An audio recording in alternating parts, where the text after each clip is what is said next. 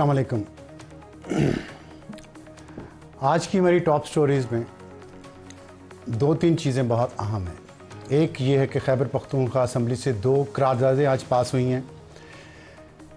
एक करारदाद है जिस पे पीटीआई पर पाबंदी के ख़िलाफ़ ऐवान पूरे ने करारदाद पेश किया और कहा है कि पीटीआई पर पाबंदी लगाना मुमकिन नहीं है।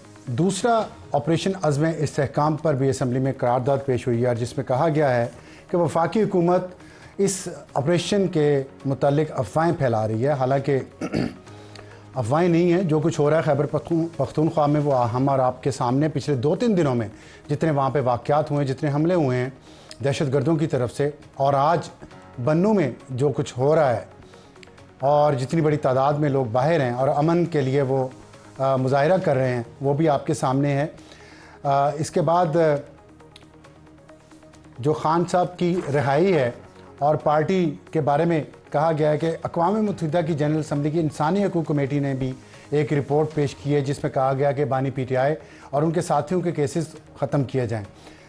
करारदाद में मज़ीद ये कहा गया है कि पीटीआई के बानी को इस वजह से रिहा किया जाए क्योंकि यूनाइटेड नेशंस ने करारदाद पेश की है। अमेरिका की करारदाद का ज़िक्र मुझे नज़र नहीं आया, लेकिन वो भी चाहिए था कि सूबाई असम्बली अमेरिका ने जो करारदाद पेश की है, उसका भी ज़िक्र अपनी आज की करारदाद में करती, क्योंकि यहाँ भी असम्बली है, कांग्रेस भी अमेरिका की असम्बली है तो दोनों की करारदादें पेश की जानी चाहिए थी। और दूसरी तरफ़ इस्लामाबाद में ये हुआ है कि आज इलेक्शन कमीशन ने सुप्रीम कोर्ट का वो फैसला जो आठ पाँच की तकसीम से आया है, जिसमें रिज़र्व सीट्स पीटीआई को देने का फैसला दिया गया है। इलेक्शन कमीशन ने ऐलान किया है कि वो इस फैसले पर अमल दरामद करेंगे। साथ उन्होंने ये भी कहा है कि जो एक एक से, उन्होंने लफ्ज़ यूज़ किया एक सियासी जमात की तरफ़ से। हालाँकि उन्हें कहना चाहिए था कि पीटीआई की तरफ़ से जो चीफ इलेक्शन कमिश्नर और तमाम अरक, अरकान इलेक्शन कमीशन के इस्तीफ़ों पर ज़ोर दिया जा रहा है और उनके ख़िलाफ़ जो प्रोपेगेंडा किया जा रहा है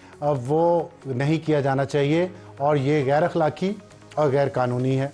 ये भी साथ उन्होंने उन्हें साथ का फैसला मानते हैं, फैसले पर अमल दरामद भी करेंगे, लेकिन साथ उन्होंने ये भी कहा है कि पीटीआई को इस तरह हमें प्रेशराइज नहीं करना चाहिए। दूसरी तरफ़, यहाँ सुप्रीम जुडिशल काउंसिल का आज एक इजलास हुआ है, जिसमें दो एडहॉक जजेस की अपॉइंटमेंट की मंजूरी दी गई है और वो जजेस हैं मज़र आलम मियाँ खेल साहब और तारिक मसूद साहब। इन दोनों जजेस की, तारिक मसूद साहब की आठ एक से और मज़र आलम साहब की छः तीन से अप्रूवल दी गई है तो काफ़ी बड़ी सपोर्ट मिली है सुप्रीम जुडिशल काउंसिल से एडहॉक जजेस को अपॉइंट करने की। लेकिन ये एडहॉक जजेस का मसला जो है, ये भी पिछले कुछ दिनों से ख़बरों में है सोशल मीडिया पे है डिजिटल मीडिया पे है। और आजकल तो आपको पता है, अदालत हो इस्टेब्लिशमेंट हो, हुकूमत हो अपोजिशन हो एग्जेक्टिव हो या मीडिया हो वो चलता सोशल मीडिया पे और डिजिटल मीडिया पे है कि कितना प्रोपेगेंडा, किसके हक में, कौन कर रहा है, इस तरह टारगेट करके लोगों को इंडिविजुअल्स को,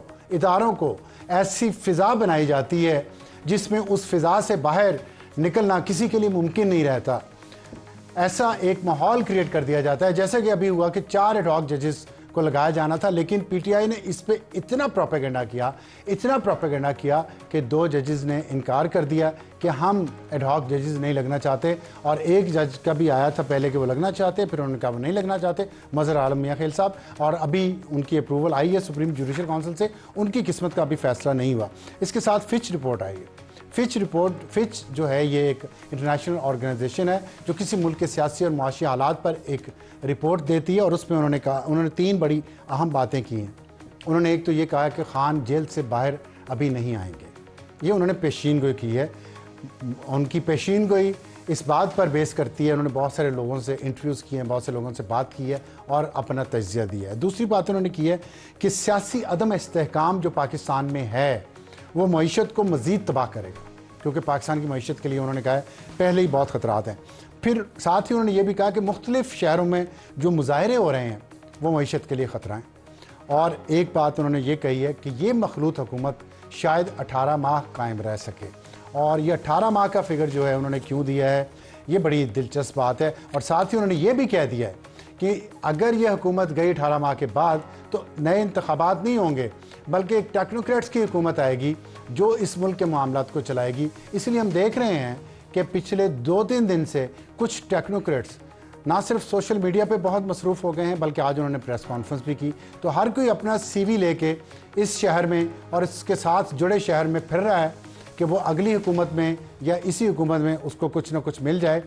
लेकिन मुल्क के लिए आवाम के लिए इस सब में से क्या है? हमें आज ज्वाइन किया है अली मोहम्मद ख़ान साहब ने, जो पाकिस्तान तहरीक इंसाफ के रहनुमा हैं। हम उनसे बात करेंगे इन तमाम इश्यूज़ पर और उनसे पूछेंगे कि इस वक्त जब ये लग रहा है कि शायद सिस्टम ने एक दफ़ा पीटीआई को फिर मौका दिया है कि वो सिस्टम में आए, चाहे ज़्यादतियाँ हुई हैं और सिस्टम के अंदर रह के इस इस इस निज़ाम को आगे लेके चले। तो अली मोहम्मद खान साहब अलैक्म भाई। सबसे पहला सवाल मेरा आपसे ये है कि आज इलेक्शन कमीशन ने भी कहा है कि हम रिज़र्व सीटों के फैसले पर सुप्रीम कोर्ट के अमल करेंगे। और दूसरी तरफ़ पिछले कुछ दिनों में जो बहुत सारे फैसले आए हैं, पीटीआई को उससे बड़ी, बड़ा रिलीफ मिला है, सपोर्ट मिली है। वर्कर्स की ज़मानतें हो रही हैं, खान साहब बुशरा बीबी, उनको बहुत सारे केसेस में बरी कर दिया गया है। रिज़र्व सीट्स का फैसला आपके हक में आ गया है। तो ये निज़ाम जो है, आपको वो वेलकम बैक तो कर रहा है। लेकिन हम ये देख रहे हैं कि आपकी तरफ़ से एक मुजामत की और एक जारहियत की एक टोन बुलंद हो गई है पीटीआई की तरफ़ से।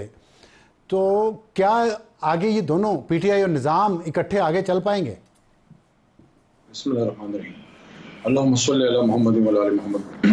साहब, बिल्कुल क्यों नहीं चल पाएँगे? तहरीक इंसाफ, उनकी सबसे बड़ी जमात है और हमने इस सिस्टम के अंदर रह के इस मुल्क को ठीक करना है। और तीन दफ़ा हम खैबर पख्तूनख्वा में हमारी हुकूमत बन चुकी है। मरकज़ में, कश्मीर में, गिलगित में, सिंध में अपोजिशन लीडर बलोचिस्तान में कोलिशन तो हमारा ट्रैक रिकॉर्ड तो मौजूद है। जो हम सिस्टम के अंदर रह के एक रिफॉर्म के लिए काम कर सकते हैं बशर्ते कि सिस्टम हमें कबूल करे, क्योंकि हम सिस्टम के अंदर रह के सिस्टम के रिफॉर्म का काम तो कर सकते हैं सार साहब, लेकिन इस गले सड़े निज़ाम, इस सिस्टम का उस तरह से हिस्सा नहीं बन सकते, जिस तरह शायद ये सिस्टम चाहता हो, क्योंकि हर कोई स्टेटस को जो है, वो हर उस फोर्स के खिलाफ होती है जो उसकी अथॉरिटेरियनिज्म या उसके उस कंट्रोल के खिलाफ उठती है, जो कुछ अरसे से उसने किया होता है। हमारे मुल्क में सत्तर, पचहत्तर साल से हैं। तो अब साहब साहब, हम कोई खुदा न खासा इंतहा पसंद लोग नहीं हैं। मिडिल क्लास एजुकेटेड लोगों की जमात है, जो मुल्क के निज़ाम से तंग होके और पिछले तीस चालीस साल की सियासत से तंग होके तहरीक इंसाफ बनी। लेकिन आपने कहा कि टेंडेंसीज तो आप मुझे बताइए अबसार साहब, मैं ये नहीं कहता कि हम बहुत आइडियल लोग हैं और हमसे गलतियाँ नहीं होंगी, लेकिन 300 दिनों से इमरान खान साहब नाकर्दा गुनाहों में जेल में हैं। जो केस उन पर बना है, आपने अभी फरमाया कि हमें रिलीफ मिल रहा है। रिलीफ मिला, लेकिन 300 दिनों बाद, ये तीन से दोनों का जिम्मेदार कौन है? 300 दिनों तक इमरान खान साहब को बेगुनाह जो जेल में रखा है, उसका जिम्मेदार कौन है? ये ठीक है। मैं अली साहब आपकी इस बात से मुतफिक हूँ इसका ज़िम्मेदार मैं तो नहीं हूँ कम अज़ कम लेकिन आपने कहा हम इंतहा पसंद नहीं हैं। लेकिन जो माजी का रिकॉर्ड है जब आप हुकूमत में थे और उस वक्त आपके अपोजिशन को जो आपसे शिकायतें थी मीडिया को जो आपसे शिकायतें थी अदलिया को आपसे शिकायतें थी काजी फाइजा साहब के ख़िलाफ़ आप लोगों ने रेफरेंस फ़ाइल किया जो कामयाब नहीं हुआ और उसकी वजह फैज़ाबाद धरना था। फैज़ाबाद धरना में जनरल फैज़ का जो किरदार था और जो आ, उसके उसके बारे में उन्होंने जो फैसला दिया था काजी फाइजा ने वो आप इम्प्लीमेंट नहीं करना चाहते थे और उनको इंतकामी कार्रवाई का निशाना बनाने की कोशिश की गई। इसके बावजूद, फिर नौ मई का वाक़ हुआ। उसके बाद आज, जिस वक्त खैबर पख्तूनख्वा में दहशत गर्दी के इतने वाक़ात हो रहे हैं, उस पर ख्वाजा आसिफ वज़ी दिफा हैं, उन्होंने भी कुछ कहा। उन्होंने कहा कि पे इतनी ज़्यादा दहशत गर्दी के हमले हैं, सैकड़ों पाकिस्तान की फ़ौज के जवान शहीद हो चुके हैं। पुलिस के जवान शहीद हो चुके हैं। आम शहरी मारे गए हैं। आज भी देख लें, आपके वज़ी अला और गवर्नर खैबर पख्तूनख्वा के ज़िला बन्नू और टेरा इसमाइल ख़ान में क्या सिचुएशन है? और उसके बावजूद एक, आप फ़िक्र सिर्फ़ सुन लें, ख्वाजा आसिफ साहब ने क्या कहा है कि आप कह रहे हैं, हम निज़ाम का हिस्सा नहीं हम इंतहा पसंद नहीं हैं। तो ये जो ख्वाजा साहब कह रहे हैं, क्या ये इंतहा पसंदी की अलामत नहीं है? पी के अंदर जो है शहादतें होती हैं। कोई बंदा जो है पी टी आई का जनाजा तक पढ़ने नहीं चाहता पुरसा देने नहीं जाता शोहदा के घरों के अंदर। आपको आवाज़ आई कि उन्होंने कहा है कि खैबर पख्तूनख्वा में शहादतें हो रही हैं और हुकूमत का या पी टी आई का कोई बंदा ना किसी के साथ के साथ ताज़ियत पे गया, ना जनाजे पे गया, ना पुरसा देने गया। तो अगर हमारी सिक्योरिटी सिचुएशन ये है, इस पर फिर बाकी काम कैसे होंगे? देखिए साहब साहब पॉलिटिकल एक पॉइंट स्कोरिंग की है ख्वाजा साहब ने। डिफेंस मिनिस्टर हैं, वो सिर्फ़ सियालकोट के या लाहौर के डिफेंस मिनिस्टर नहीं हैं, पूरे पाकिस्तान के डिफेंस मिनिस्टर हैं। अगर वो समझें, शहदा की जहाँ तक बात है, उसकी, उसका सबक हमें ये ना सिखाएँ, क्योंकि डॉन लीक्स वाले अगर इस तरह की बात करते हैं, इनकी मालूम के लिए वैसे मैं बता दूँ, मैं भी इमरान खान की जमात का एक शख्स हूँ, और मैं अगर कहीं जाऊँ तो इसका मतलब है कि इमरान खान वहाँ गया है। इनके अपने सियालकोट चविंडा के महाज पे हम 6 सितंबर के शहदा के लिए मैं खुद गया था बॉर्डर पे। मैं कश्मीर तक गया हूँ। पूरी कश्मीर में शहीदों के लिए फिर मैं नॉर्दर्न एरियाज़ जाता हूँ। अपना सूबा तो छोड़े, पंजाब में मैं मुख्तलिफ़ जगहों पर गया हूँ। तो क्या बात करते हैं? देखिए मैं अगर आज उठ के ये बात करूँ कि ख्वाजा साहब या मियाँ साहब मियाँ साहब मतलब नवाज़ शरीफ साहब या जरदारी साहब, इनमें से कोई शहदा के पास नहीं जाता। ये कितनी मायूब बात होगी? क्या मैं ये इन्वेंडो, जो उसको कहते हैं ना कि इस तरह कोई बात कर रहा हूँ। मैं कोई ये लोगों को तरगीब दे रहा हूँ कि खुदा न खास्ता ख्वाजा साहब या मियाँ साहब या जरदारी साहब मैं वतन नहीं। क्या मेरी इतनी मजाल हो गई? तो इनकी इतनी मजाल क्यों हो गई कि उन लोगों से उनकी वतनी के सर्टिफिकेट मांगे? हम लोगों ने पाकिस्तान बनाया, ख्वाजा साहब। आप पत्नी किधर थे? मेरा दादा पीर मोहम्मद खान तो सन चालीस में भी जना के साथ था और सन सैतालीस में भी जना के साथ था। और जब पाकिस्तान बन रहा था तो पाकिस्तान बनने की पादाश में तहरीक पाकिस्तान का हिस्सा होने की वजह से उसने जेल काटी। जिस आदमी से आपकी नहीं लगती उस आदमी इमरान खान का बाप उनके वालिद मोहतरम इकराम न्याजी भी सन चालीस में उधर ही थे। करारदाद पाक। तो हम सब महब वतन the point is what I want to पहला नुकता ये है कि हम सब महब वतन हैं। लेकिन आप इसको देखिए। अब साहब साहब मुझे इस पर एक मिनट दीजिएगा कि आज आपने अपने ज़िक्र किया कि खैबर पख्तूनख्वा की असम्बली ने जो ऑपरेशन है उसके खिलाफ करारदाद पास की है। इससे समझिए कि वो सूबा जिसकी मदद के लिए आप आना चाहते हैं, जैसे मैं आपकी मदद के लिए अगर आपके इलाके में आऊँ तो मैं तब आऊँगा जब मैं उधर वेलकम हूँगा अगर मेरा पास्ट रिकॉर्ड ठीक नहीं है तो लोग मेरे आने पर सवाल करेंगे। खैबर पख्तूनख्वा असम्बली में नए ऑपरेशन पे नो कॉन्फिडेंस क्यों हो रहा है? इसलिए हो रहा है कि लोगों को एतमाद की अब कमी है। लोग सवाल उठा रहे हैं। आज जो बनू में हुआ है ठीक। स्ट्रेट फायरिंग है अफ्ताब साहब जी। स्ट्रेट फायरिंग हुई है जिसको हम सब मुजम्मत करते हैं। क्यों हुई है अपने पाकिस्तानियों पर ऐसी स्ट्रेट अच्छा, फायरिंग ये तो दहशतगर्दों अच्छा मैं मैं मैं आप हम ये कहते हैं। ठीक है ठीक है सही बात है सही बात है। खैबर पख्तूनख्वा ने इसका अयादा किया है कि उसकी इन्वेस्टिगेशन करेंगे कि बनू में ऐसा क्यों हुआ। देखें ठीक अमन के लिए लोग निकले। अच्छा ये बताएँ साहब मेरा सवाल तो सुन ले मेरा सवाल सुन लेना सवाल तो सुन ले। हुआ। सवाल सुन ले। तो इस इधर इस वक्त जो अमन की आखिरी बात अमन के लिए जो लोग निकले हैं जिनके हाथ में अमन के सफ़ेद झंडे हैं जो पाकिस्तानी हैं और क्या मांग रहे हैं? ना रोजी मांग रहे हैं ना रोटी मांग रहे हैं ना रोज़गार कह रहे हैं हमें अमन दो हमारे बच्चों को। आज आपने उस बच्चे का चेहरा देखा है जिसका चेहरा खून से लहू लहान है मुस्कुरा रहे बच्चा बनू ये सवाल है। अब इसको हम सबने मिलकर ठीक करना है। अगर हमने मैं मैं की रट आपने कहा सबको मैं अच्छा चले मैं मैं मैं आपकी अब अब यही यही ये ली बात। आपने कहा हम सबने मिलकर ठीक करना है। आपको बार बार कहा गया कि इस पर हमारे साथ बैठे वफाकी हुकूमत ने कहा इस्टेबलिशमेंट ने कहा आप पहले आपकी हुकूमत पे ये इल्ज़ाम है कि अफ़गानिस्तान से टीटीपी के लोग यहाँ ला के बिठाए गए। आप जो बात आज बन्नू की कर रहे हैं डेरा इसमाइल खान और बन्नू में आप लोग आप खुद नहीं वहाँ रात को मैं मेरी मेरा सवाल सुन लें। मेरा सवाल सुन लें। आप खुद रात को वहाँ नहीं जा सकते। एमल वली खान ने ऑन रिकॉर्ड कहा है कि मुझे मना कर दिया गया हुकूमत की तरफ़ से कि वहाँ आपकी जान को रात को हम हिफाजत नहीं कर सकते। और आप गए कश्मीर गए नॉर्दर्न एरियाज़ गए सब जगह गए। सवाल ये है कि पिछले छः महीने से आपकी हुकूमत है खैबर पख्तूनख्वा में। वहाँ दर्जनों हमले हो चुके हैं सिक्योरिटी फोर्सेस पे। वहाँ पे आपकी हुकूमत का कोई भी नुमाइंदा या पीटीआई का कोई भी नुमाइंदा उन लोगों के साथ जनाजे में ताजियत के लिए क्यों नहीं गया? मेरा तो ये सवाल है सिर्फ़। देखिए दो बातें इसमें आप उठा रहे हैं। पहले वो टीटीपी वाला मामला, क्योंकि वो बड़ा अहम आपने उठाया। थोड़ा सा उसमें मैं आपकी इंफॉर्मेशन दे दूँ, मे भी आपको पता ना हो। हमारी हुकूमत के आखिरी एक दो महीने में एक मीटिंग हुई। मैं भी उसका हिस्सा था। खान साहब के नीचे as a P M O meeting हुई, जिसमें उस वक्त बाजवा साहब और डी जी आई साहब सब उसमें शरीक थे defence minister everybody was there जो स्टेक होल्डर थे। ये डिस्कस हो रहा था कि क्या उनको रिपेट्रिएट किया जा सकता है अमन की बहाली के लिए। उस पर अभी कोई उसूली फैसला नहीं हुआ था। एक मीटिंग हुई खान साहब के नीचे और वो उसके बाद हमारी हुकूमत खत्म कर दी गई। अब इसकी मंजूरी किसने दी हमारे बाद? सोलह महीने शहबाज साहब की हुकूमत थी। खान साहब चले गए थे शहबाज साहब आ गए। बाजवा साहब उसी तरह अपनी सीट पे थे और भी जिम्मेदार हसास इदारों के लोग भी अपनी अपनी जगहों पे आज भी वही मौजूद अली साहब आप आप मैं आपसे बहस नहीं करना चाहता लेकिन ये ऐसा नहीं था। लेकिन ऐसा नहीं था। मैं आपको दिखा सकता हूँ खान साहब के स्टेटमेंट्स मैं मैं तो आप मैं मैं इसका कोई जवाब मुझे ज़रूर आप लेके दीजिएगा शहबाज साहब की हुकूमत के लोगों से। ये डिबेटेबल है। मैं मैं लूँगा मैं लूँगा मैं लूँगा। ये डिबेटेबल है। अगले पॉइंट पे आए कि छह महीने से आपकी हुकूमत है। वहाँ लॉ एंड ऑर्डर की सिचुएशन इतनी खराब है। तो वहाँ पे क्यों हुकूमत नाकाम क्यों है सूबाई हुकूमत? मुझे थोड़ा सा इसको पूरा करने दे। ये बड़ा अहम नुकता आपने उठाया।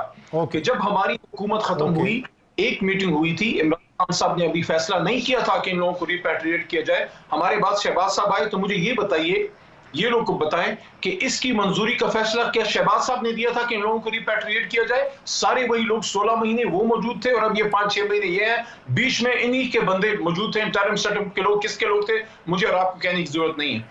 जहाँ तक खैबर पख्तूनख्वा का ताल्लुक है कि वहाँ जो दहशत गर्दी का एक नई लहर आई है आपने एमल वली खान साहब की बात की, काबिल एहतराम है मेरे लिए, हमारे इलाके के हैं। हम एक इलाका शेयर करते हैं वो चार सदे में है, मैं मरदान में हूँ। लेकिन अफसोस से मैं कहना चाहूँगा, वो बड़ी बड़ी बात करते थे। हमें हमें कोई सबक ना सिखाए। कहते थे कि जाओ जाओ बॉर्डर जाओ। फिर जाके बलोचिस्तान से सीट सेनेट की जीत के असम्बली में बैठे मुझे कोई ये बताए, किसकी सपोर्ट से? बलोचिस्तान में हुकूमत किसकी है? कहने की ज़रूरत नहीं है। जहाँ तक इस बात का ताल्लुक है कि हम शहीदों के पास नहीं गए, ये क्या बात कोई कर रहा है? हमारे अपने शहीद हुए हैं।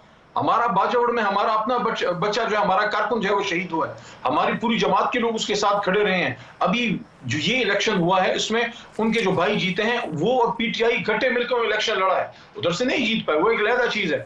एक महीना पहले मेरे अपने इलाके में एक दहशत गर्दी बीस पच्चीस दिन पहले हुई है। मैं उनके साथ बैठा हुआ था। इसी तरह अली अमीन खान जाते हैं अगर उनके इलाके में कोई मसला होता है। इसी तरह हमारे पेशावर वैली के अरबाब शेर अली साहब सारे जाते हैं। एक जगह कोई मुझे बताए जहाँ कोई दहशत गर्दी हुई है और वहाँ हमारे कंसर्न एम एन ए साहिबान या एम पी ए साहिबान या वजरा कराम नहीं गए। देखिए ये मसाइल ख्याल नहीं अफसार साहब कि आप गए मैं गया वो नहीं गया। क्या मतलब? क्या मतलब? क्या बात कर रहे हैं? आप देखें मेरी बात सुनिए आप। आप देखें मेरी उस बात पे मेरे सवाल पे नहीं आप अली साहब।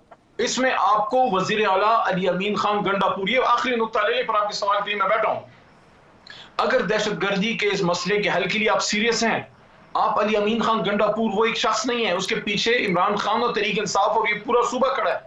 आप उसको अपने साथ बैठाइए उसको एतमाद में लीजिए आप क्या करना चाहते हैं? बैठाया? आप नेशनल सिक्योरिटी कमेटी में बैठाया? करना चाहते हैं कि एक तरफ़ दहशत गर्दी का खतरा है आप उसकी जमात को बैन करना चाहते हैं? आप ये आप ये ऐलान करें कि हम इमरान खान और फॉर्मर सदर पे आर्टिकल सिक्स लगाना चाहते हैं? ये आपके मज़ाक के तरीके हैं। ये आपके दहशत गर्दी के खिलाफ लड़ने का तरीका है कि जिस सूबे में हुकूमत है उसी आपका पॉइंट आ गया ना। तो अब आपका पॉइंट आ गया। अब मेरे पास टाइम कम है। मेरे पास टाइम कम है जो मैंने सवाल पूछा है जो मैंने सवाल पूछा है उसका जवाब तो दे दें। जो मैंने सवाल पूछा पिछले छः महीने में पाँच महीने में आपकी हुकूमत के दौर में इतनी दहशत गर्दी हो रही है कि आपका वज़ीर अला गवर्नर अपने ज़िले में नहीं जा सकते। और आपकी हुकूमत का कोई नुमाइंदा कभी गया नहीं है। इस पिछले हफ़्ते में दो दहशतगर्द हमले हुए हैं। आज भी दीवार टूटी हुई है जो जहाँ पे आपने कहा है और वहाँ से अंदर घुस के हमला कर रहे थे लोग। तो मुझे बताएँ इस सूरत हाल में आप समझते हैं ये मुल्क के लिए बेहतर है? और आप इस आप चाहते हैं कि ये चीज़ ऐसे हो, होती रहनी चाहिए? आप आप इसको आप इसको सपोर्ट कर रहे हैं? हम चाहते हैं अमन हो। ये जो आज आप वाकई की बात कैसे? करें तरीके कैसे? ऐसा नहीं था। अब साहब साहब सुनिए ना कैसे सवाल करके सुन तो लिया एक मिनट एक मिनट। जी आज जी, का जी. जो अमन जरगा था या अमन के लिए जो मार्च था उसमें तरीक इंसाफ के लोग थे उसमें इलाकाई लोग थे जमात इस्लामी थी पीपल्स पार्टी के लोग थे इनके अपने नून लीग के लोग मौजूद थे एनपी के लोग वहाँ मौजूद थे पूरा इलाका निकला हुआ था। तो वहाँ अगर किसी ने कोई गलती की है मैं उसको सपोर्ट नहीं करता। लेकिन स्ट्रेट फायरिंग आप माने फिर वो गलती पीटीआई के लोगों ने की है। ये तो आप मानते हैं ना कि वो गलती पीटीआई के लोगों ने की है। उन्होंने लीड किया है। स्ट्रेट फायरिंग हमेशा दहशत गर्दों के पे होनी चाहिए। अपने लोगों पे नहीं होनी चाहिए। मैं आपको क्लियर बता रहा हूँ इसका बहुत नेगेटिव रिज़ल्ट में आ गया है और भी आएगा। आप मेरा आपका सवाल आप मेरा सवाल का जवाब अभी तक नहीं दिया। देखिए अली अमीन खान अली अमीन खान गंडापुर के नीचे पुलिस है। वो आपके सूबे के अंदर उसके लिमिटेड रिसोर्सेज हैं। बॉर्डर पे ना अली अमीन खड़ा है ना बॉर्डर पे हमारी पुलिस खड़ी है। डेरा इस्माइल खान कौन सा बॉर्डर है? बन्नू कौन सा बॉर्डर है? उठता है डेरा इस्माइल खान बन्नू कौन सा बॉर्डर है? देखें ये चीज़ें लड़के नहीं लड़के नहीं हल होंगी इस पे बैठना पड़ेगा शहबाज शरीफ साहब को तो बैठ तो बैठते क्यों नहीं आप? आप कहते हैं आप कहते हैं तो एक मिनट एक मिनट। अली मोहम्मद खान साहब मैंने बहुत टाइम दिया आपको। मुझे मेरी बात तो सुन लें। मेरी बात तो सवाल तो सुन लें। आप कहते हैं कि हमने नहीं बैठना हुकूमत के साथ। आप सुनिए ना हौसला पैदा कीजिए। अब सार भाई सुन लीजिए। ये जब ऑपरेशन की बात हुई मैं तो ये जब ऑपरेशन की बात हुई अली अमीन खान को बैठाया। अली अमीन खान ने आके जो ब्रीफिंग दी है हमारी पार्लियामेंट्री पार्टी को उन्होंने कहा मेरे सामने तो ऑपरेशन की कोई बात ही नहीं आई। मैं मंजूरी किस चीज़ के दूँगा? आज तक पार्लियामेंट के सामने कोई ऑपरेशन की डिटेल नहीं आई कि भाई ये ब्लूप्रिंट है ये हम कुछ करना चाहते हैं। क्या ये पार्लियामेंट अच्छा चले आप आगे का रास्ता आगे आगे का बताएँ। आगे का बताएँ आगे क्या हो सकता है कि आप कहते हैं हमने बात ही नहीं करनी हुकूमत के साथ हमने इस्टेब्लिशमेंट के साथ बात करनी है। अब आप मुझे बताएँ यहाँ से हमने आगे बढ़ना है या लड़ना है? और बढ़ना है तो आप क्या हल क्या तजवीज़ करते हैं आप? देखें वो क्या कहते हैं कि अपनों से लड़की जीत भी गए तो क्या जीतना? आपस में हमें लड़ना नहीं चाहिए। आपने कहा आगे का रास्ता क्या है? आगे का रास्ता यह है कौम के सबसे बड़े लीडर को जिसको आपने बेगुना अडियाला में असीर किया हुआ है, उसको साथ में शाह महमूद कुरैशी को, जो आपकी सियासत का एक मतदर नाम है, इज़्ज़त वाला नाम है, जो हमेशा गुफ्तगु पे पार्लिमानी सियासत पे बिलीव करता है, उसके साथ क्या हो रहा है? आप उनको लाइए, उनको निकालिए, गुफ्तगु का एक एक मैदान तो सजाइए। देखें, हमेशा ज़िम्मेदारी हुकूमत की होती है, हमेशा मामला को हुकूमत ठंडा करती है।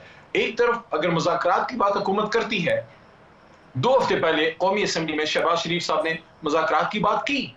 मेरी स्पीच के जवाब में उन्होंने कहा कि हम मुजाकर करना चाहते हैं?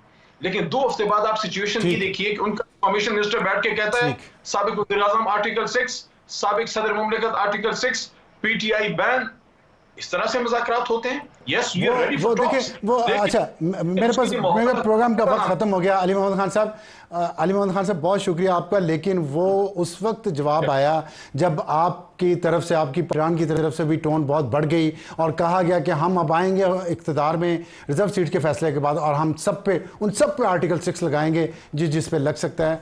तो थोड़ा सा टोन डाउन दोनों अतराफ को करना पड़ेगा और अगर सिर्फ़ पी टी आई का मतम नज़र ये है कि अपने लीडरान को जेल से बाहर निकालना, इस मुल्क को आगे लेके नहीं चलना तो फिर आगे कैसे बढ़ेंगे? इस पर बात जारी रखेंगे एक छोटे से ब्रेक के बाद।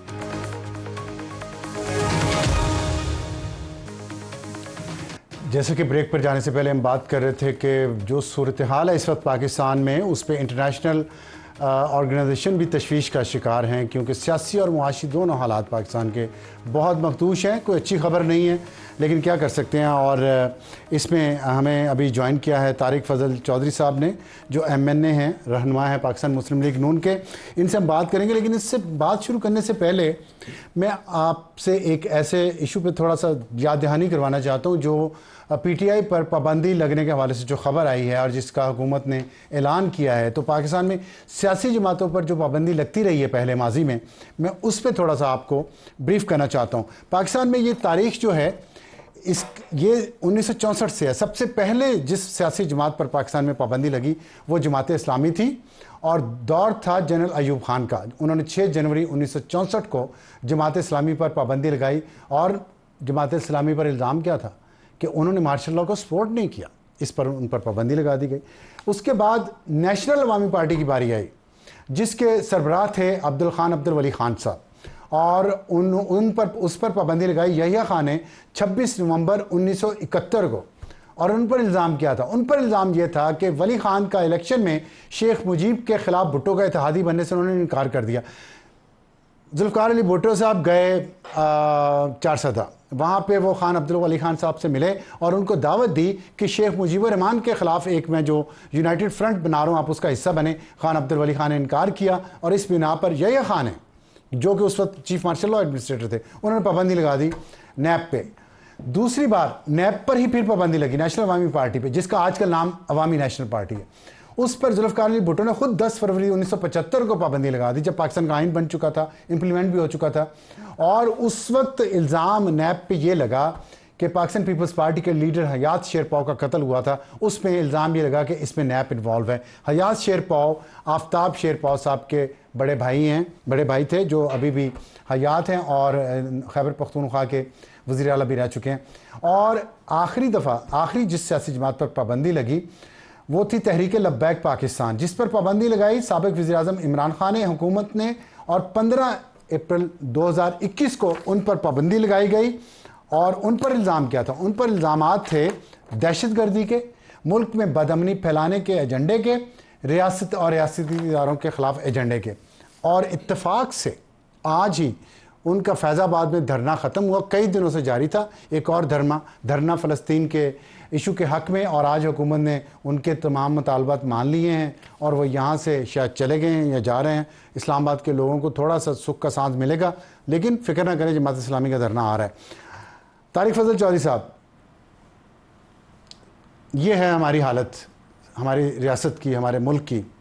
और इसमें एक फिच रिपोर्ट आई है जिसमें उन्होंने कहा इकानमी की इकानमी की हालत बहुत ख़राब है, मज़ीद ख़राब हो जाएगी, अठारह माह से ज़्यादा आपकी हुकूमत चलेगी नहीं, उसके बाद टेक्नोक्रेट्स आएँगे। क्या कहते हैं आप इसमें? बसमीम सबसे पहले बहुत शुक्रिया, आप सार साहब, आपने प्रोग्राम में दावत दी। देखिए, एक तो जो आपने हालात की मंजरकशी की है हुकूमत के पास दो रास्ते हैं। या तो सरेंडर कर दे कि हालात जैसे हैं, हम कुछ नहीं कर सकते, और बेचारगी का आलम है, और ये ऐसे ही चलेगा। और या फाइट बैक करें जो कि हम कर रहे हैं और हम करेंगे इन ये हमारा बड़ा एक कंसिडर्ड आप ये कहें कि फ़ैसला है कि हम आ, लड़ेंगे और लड़ेंगे किससे? इन नामसाइद हालात से और इन मुल्क को बेहतरी की तरफ़ लेके जाएँगे। और मैं आपको ये भी बता दूँ फिच की रिपोर्ट को भी साथ अटैच कर लेते हैं कि ऐसी कई रिपोर्ट्स आती रहती हैं। ये कोई पहली दफ़ा नहीं है कि इस तरह माजी में कोई पेश गोई की गई हो उनके अपने पास क्या रिसोर्स होते हैं आई डोंट नो लेकिन पॉलिटिकल गवर्नमेंट्स की जो मुद्दत होती है उसको इस तरह की एन या इस तरह के इदारे गेज नहीं कर सकते और ना कभी इस तरह की रिपोर्टें सही साबित हुई हैं।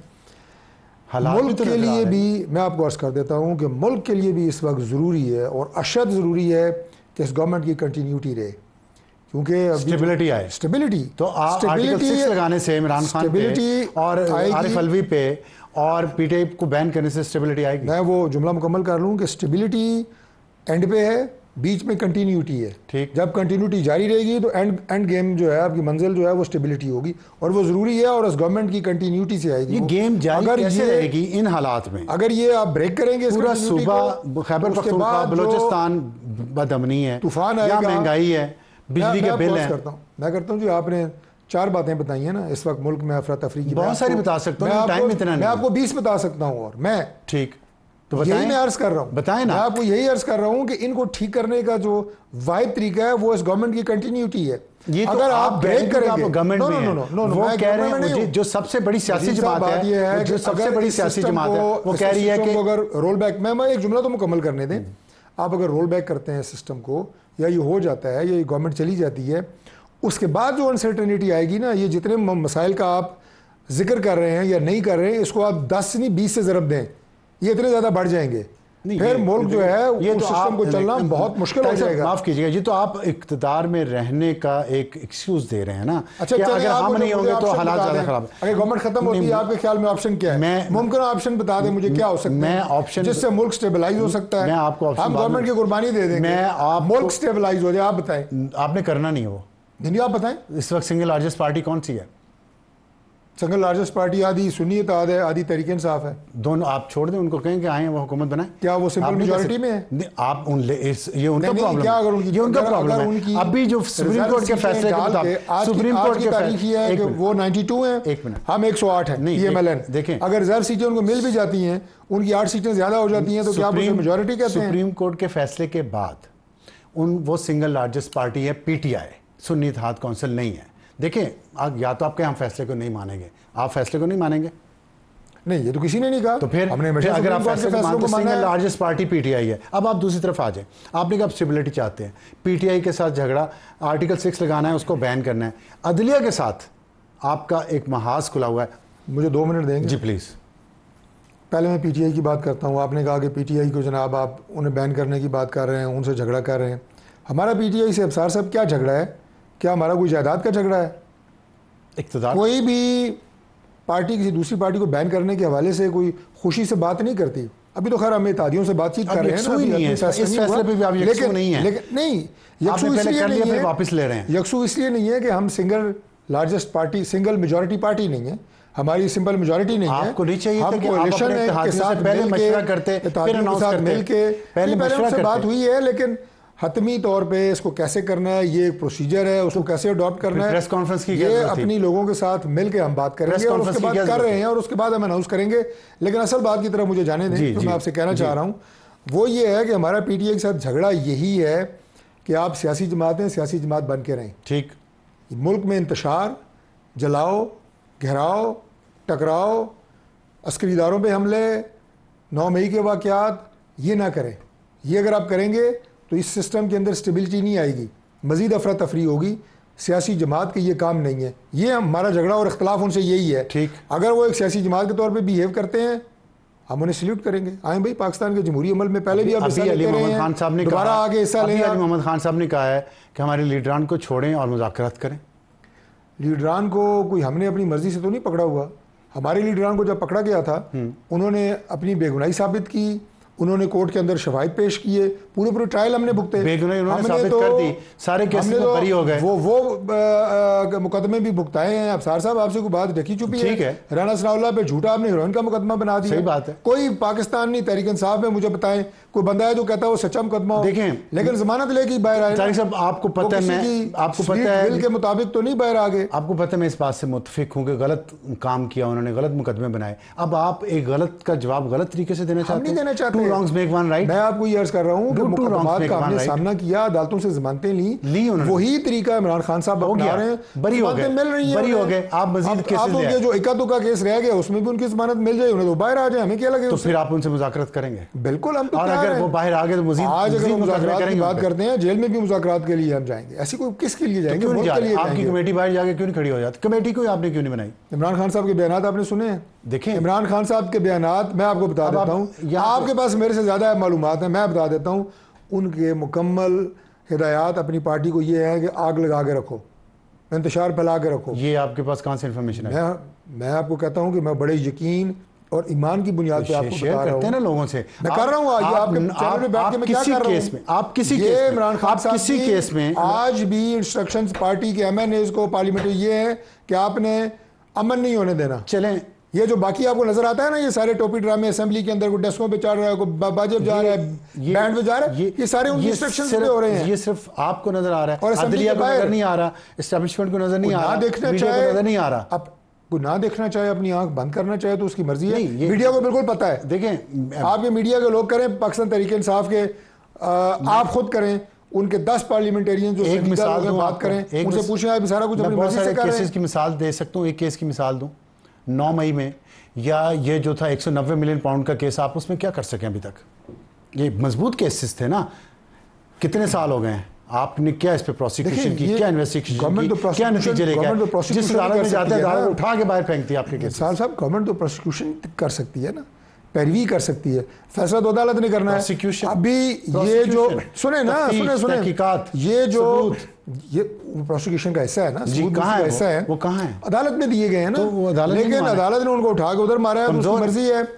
ये जो तो अभी सुप्रीम कोर्ट का आखिरी फैसला हुआ है आप अदालत की बात कर रहे हैं इसमें पाकिस्तान तरीके इंसाफ ने तो वो मांगा वो मिल गया इन्हें जो उन्होंने मांगा ही नहीं था। जब भी आप रिट पिटिशन करते हैं तो आप मुझे बताएँ आपने भी कई मुकदमात किए होंगे। इलेक्शन कमीशन ने तो मान लिया। क्या लिखते हैं? इलेक्शन प्रेयर मैं- ठीक है। प्रेयर में जो चीज़ आप मांगते हैं आपके- उसी के ऊपर अदालत बात करती है। वो एक पार्टी घर सोई हुई है। तारिक साहब, उसे पता ही नहीं है क्या हो रहा है। आपके और आप उसको नवाजी जा रहे हैं। valid हैं। इसलिए प्रोसिक्यूशन की क्या बात कर रहे पॉइंट्स हैं। वैलिड फैसले इलेक्शन कमीशन ने तो आज फैसला मान लिया। आप मानेंगे कि नहीं? हमने कभी ये नहीं कहा कि हम फैसला नहीं मानेंगे। नहीं रिव्यू में लेकिन आप रिव्यू में ही गए हैं ना तो नहीं लेकिन मैं आपको ये अर्ज़ कर रहा हूँ कि फैसला जब भी किसी अदालत की तरफ़ से आता है सेशन कोर्ट से आए I have the right to go in the high court high court मेरे खिलाफ। करेगी I have the right to go to the supreme court right. मैं फैसले को चैलेंज करने का इख्तियार रखता हूँ। इधर भी हमारे पास जो लीगल रेमेडीज है हम वो इस्तेमाल कर रहे हैं। सर जवाब दीजिएगा। स्पीकर नेशनल असेंबली के पास कोई कार्ड है इस मामले पे खेलने का? स्पीकर नेशनल असम्बली अपनी आइनी हदूद के अंदर ही खेलेंगे। वो एक इंतहाई खेलेंगे। वजादार और जेंटल आदमी है और कभी उन्होंने अपनी आइनी हदूद को क्रॉस नहीं किया। वो उसी के अंदर रह के बात करेंगे और उसी के अंदर। रह के इख्तियार इस्तेमाल करेंगे और आखिरी जुमला मैं अर्ज़ कर दूँ कि जिन इदारों की हम बात कर रहे हैं अगर ये आइनी हदूद के अंदर रहेंगे और अना की सोच के तहत फैसले नहीं करेंगे, आपका मुल्क सीधा हो जाएगा। बहुत अच्छी बात की है तारिक फजल साहब ने कि आइनी हदूद के अंदर सारे रहें, अपनी अनाव की जंग न लड़ें, इस मुल्क का सोचेंगे तो ये हम आगे बढ़ सकेंगे, वरना फ़िश रिपोर्ट तो है। एक ब्रेक लेते हैं यहाँ पर